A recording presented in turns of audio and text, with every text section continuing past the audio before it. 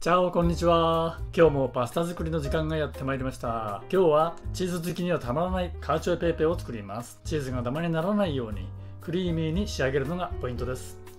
パルミジャーノチーズと潰した黒胡椒の風味が絶品でした。それではご視聴よろしくお願いします。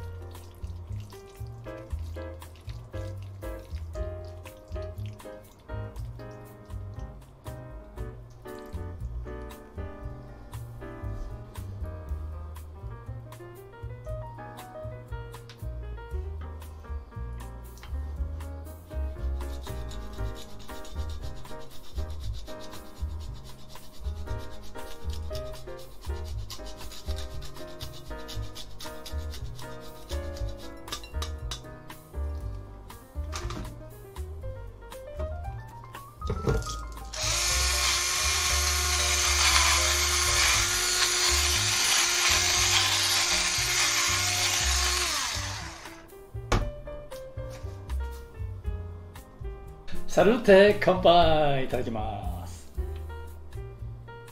うん。うまいね。さあ。カーチョエペーペ今日は太めの1.9ミリ。ね。やっぱカーチョエペーペはね太めが王道ですよね。いただきます。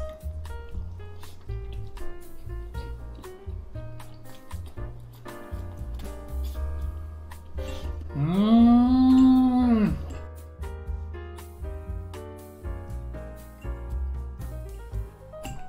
これこれ。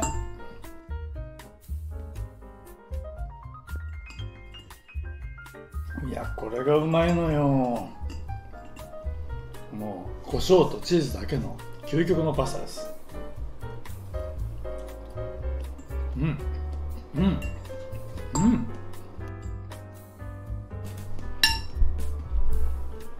たまんねうまい。うますぎる。やうまかったっす。最高だねこのカーチョイペイでね。まあ言ってみればカルボナーラの卵抜きみたいなもんなんですけどね。だけどこっちの方が、まあ、よりこうシンプルな原材料。ね。だけどこんだけのなんかこうまた食べたくなる感じなんですよね。そこがカーチョイペペの魅力かなと思います。使ってる原材料なんかは概要欄に貼っておきますので気になる方は見てみてください。では今日はこの辺で。また次の動画でお目にかかりましょう。チャオチャオ。チャオ。